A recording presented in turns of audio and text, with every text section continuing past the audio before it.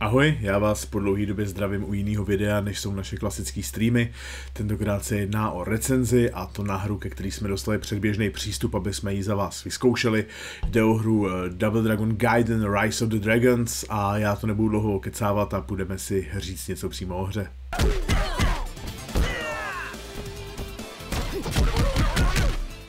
Milovníkům klasických arkádovek a žánru beat'em up asi není potřeba dlouze připomínat, o co se jedná, proto to jenom velice rychle schrneme pro ty mladší ročníky. Původní Double Dragon je arkádová mlátička z roku 1987, vydaná společností Technos. Zatímco staří arkáďáci, jako jsme my na tuhle chodičku mlátičku nedají dopustit, je nutno si přiznat, že hratelně poněkud zestárla a oproti konkurenčním sériím její hratelnost už dneska není taková zábava, jako byla kdysi. To ale nemění nic na tom, že ke hře musíme přistupovat s obrovským respektem. Původní Double Dragon je totiž první beatemapovou hrou pro dva hráče a právě jí vděčíme za tituly jako je Golden Axe, Final Fight a nebo Streets of Rage. Double Dragon se dočkal kromě arkádové verze portů na snad všechny možné systémy svojí i dnešní doby a také několika dalších pokračování v podobě her Double Dragon 2 The Revenge, Double Dragon 3, Return of Double Dragon a pak různých moderních předělávek, crossoverů, verzusovek a fanouškovských editací. Avšak žádnému oficiálnímu dílu ze série Double Dragon už se nikdy nepodařilo držet kvalitou krok se svojí konkurencí a navázat na úspěch původní hry. Teďka skočíme do současnosti. Není to totiž ani tři měsíce zpátky, co nás na YouTube společnost Modus Games prostřednictvím traileru informovala o tom, že se pracuje na novém díle s názvem Double Dragon Gaiden Rise of the Dragons. Musím říct, že ve chvíli, kdy na mě vyskočilo video s názvem Double Dragon, moje srdce začalo bušit, protože se aktuálně nacházíme v době, kdy žánr beat'em up zažívá velký comeback a dočkali jsme se návratu slavných sérií, jako je Streets of Rage 4 nebo Teenage Mutant Ninja Turtles Shredder's Revenge. Bohužel po rozkliknutí traileru jsem dostal facku. Grafický styl, kterým je nová hra zpracovaná, není úplně to, co jsem čekal. Z dvou drsných pouličních rváčů se stalo cosi rostomilého, připomínajícího spíše remakey klasických animáků, které dneska vidíme v televizi. Mm, Nejdřív mě trochu zamrazilo, uvědomil jsem si, že původní Double Dragon se nevrátil. Opět. Nevyšlo to ani v případě her Double Dragon Neon, kde postavy vypadají jako vystřižené z japonského anime, a nevyšlo to ani se hrou Double Dragon 4, kde tvůrci z nějakého důvodu využili postaviček z 8-bitové NES verze. Proč? Dobrá, řekl jsem si, zase to nebude ono.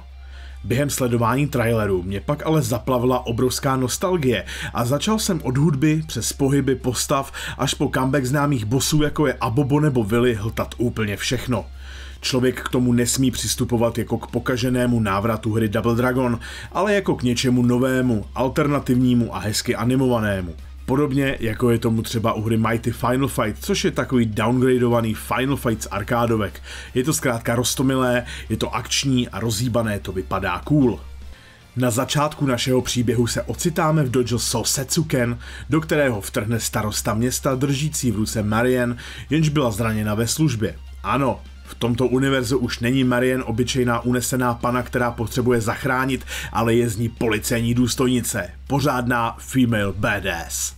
Starosta se začne ptát, jestli se na místě nachází mistr Lee, načež mu je vysvětleno, že před nějakým časem zmizel, ale nechal tam své dva syny, dvojčata Billyho a Jimmyho Leeovi. Starosta tedy uvádí věci na pravou míru a vysvětluje klukům, že je město ovládáno čtyřmi gengy, které dodržují své vlastní zákony, často za hranicí slušného chování a lidskosti. Důvod, proč vyhledal mistra Leeho, bylo požádat ho o pomoc při vyčištění města. Billy a Jimmy se tedy rozhodnou nabídnout svou pomoc a při této příležitosti přemluví i svého strýce Martina, který měl dvojčata na starost od zmizení jejich otce. Po krátkém úvodu se ocitáme ve výběru postav, kde na nás čeká čtyřčlený tým v podobě Billyho, Jimmyho, Marian a Uncle Martina. A k našemu překvapení si hráč nevolí jenom jednu postavu, ale dvě. Dvojčata Billy a Jimmy už nejsou identická, jak tomu bylo v předchozích Double Dragonech. Billy je zde mnohem rychlejší a většina jeho útoků se skládá z kopů, kdežto Jimmy dominuje větší silou a využívá převážně své pěsti. Marian je pak pravděpodobně nejméně zábavnou postavou, protože využívá služební zbraň, raketomet a celou hrou se s ní můžete prostřílet. Uncle Martin je zase článek, který dnes v žádné dobré beat'em up nesmí chybět. Je to totiž opravdový tank a grappler. Pomalá postava s velmi tvrdými útoky a jeho grapplingový moveset je opravdová slast. No řekněte, kdo nemiluje možnost chytit nepřítele a pořádně s ním hodit o zem. Tak jo, představení hlavních postav máme za sebou a teď k tomu, co nás asi trklo hnedka na začátku vyprávění o výběru postavy. Proč si vybíráme dva charaktery? Nebojte, naštěstí na nás nečeká žádná výpomoc v podobě NPC, které všude chodí za vámi, motá se v cestě a ještě vás připravuje o tu slast, kdy si můžete všechny soupeře vymlátit svými vlastními pěstmi. Jde totiž o tag partnera, kterého můžete vyvolat stiskem tlačítka a on se prohodí za vaši aktuální postavu. To znamená, že si můžete poskládat tým ze dvou členů, kteří vám vyhovují nejvíce, střídat je mezi sebou a často s nimi zachránit situaci. V případě, že vás například soupeři mlátí v rohu, ze kterého se nemůžete dostat, vám přivolání partnera pomůže, protože poté, co se vaše druhá postava objeví na obrazovce, rovnou odhodí soupeře pryč. Nelze to však využívat opakovaně a pořád takzvaně spamovat jenom tenhle jeden pohyb. Výměna postavy nás totiž stojí speciální manu pod vaším životem, která se postupně doplňuje.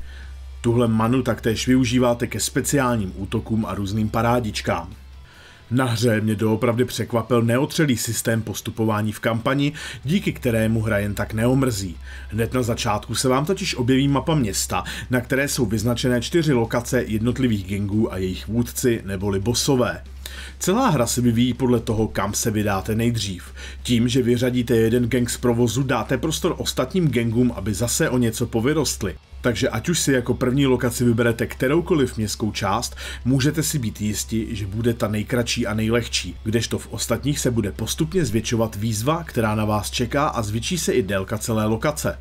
Například, pokud se rozhodnete jít nejdřív do Fortress, čeká vás krátká městská část, na jejímž konci je velice oslabený boss Willy. V druhé úrovni se pak vydáte na Junkyard, kde projdete skrze šroťák, porazíte minibose Burnova a pak jdete do vnitřní části skládky, kde se střetnete s poněkud silnějším bosem Anubisem.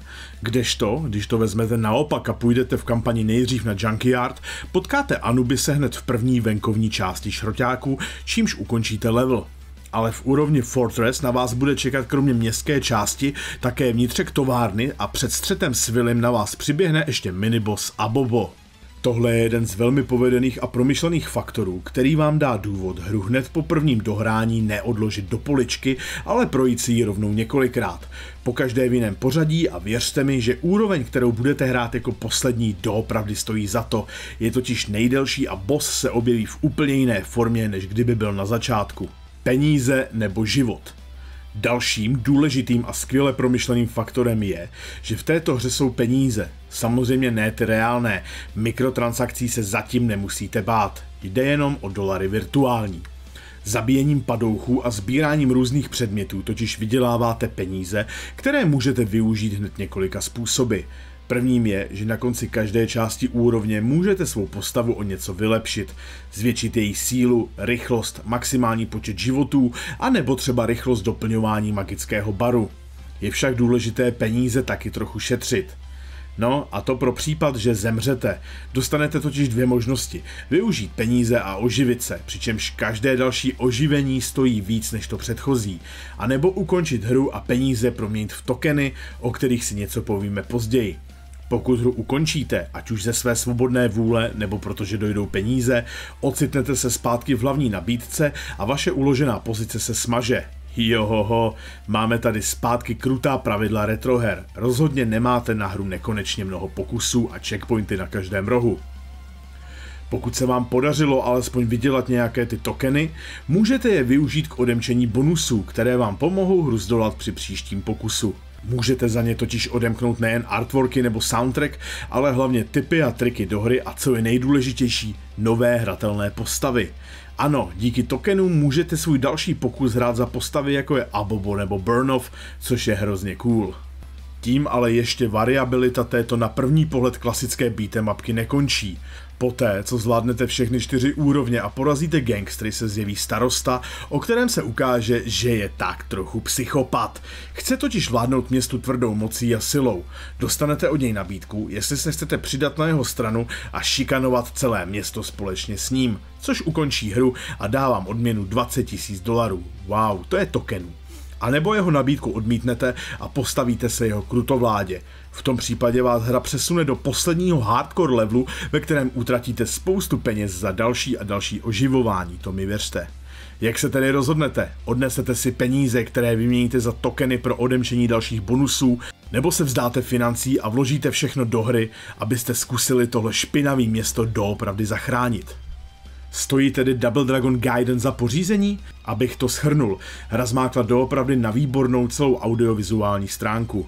Poté, co se přenesete přes rostomilost postaviček, na vás čeká úžasně vypadající beat'em up břežba, která je k prasknutí napěchovaná remixy původní hudby snad ze všech Double Dragon her, doplněná o bosáky z předešlých dílů a téměř nekonečné množství možností, jakým způsobem celou hru projdete abych tu nepil samé ódy, tak mě naopak trošku mrzí poměrně strnulé ovládání a jednotvárnost úderů, jelikož kromě čtyř speciálních úderů postavy mlátí stylem úder, úder, úder, úder, kombo, úder, úder, úder, úder, kombo. A není zde možnost například mixovat údery a kopy, nebo dělat nějaké jiné parádičky jako lokty, zvedáky, nebo silnější údery například prostřednictvím stisku dvou tlačítek naraz, nebo podržením tlačítka úderu. Trošku omezující je také rozebíhání se prostřednictvím stisku externího tlačítka. Tak nějak už jsem zvyklý, že postava v bítem a hře se rozeběhne po dvojstisku směrové šipky kupředu.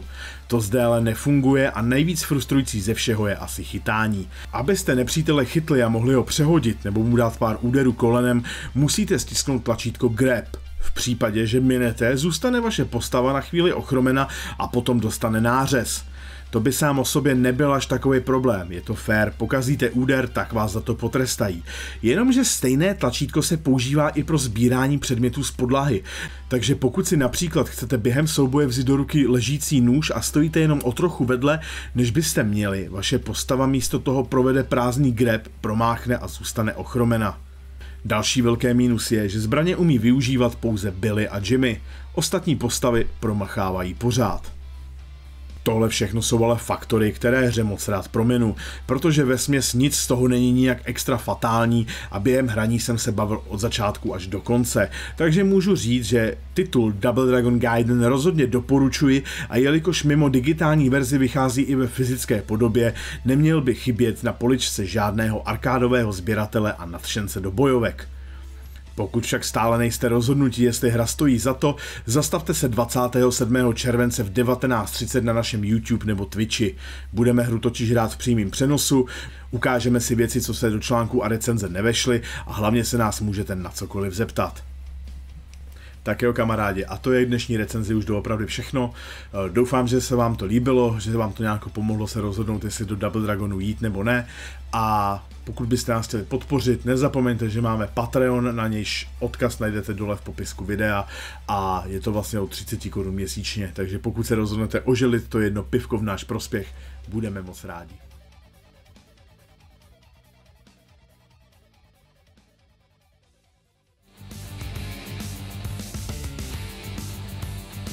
Ha ha ha!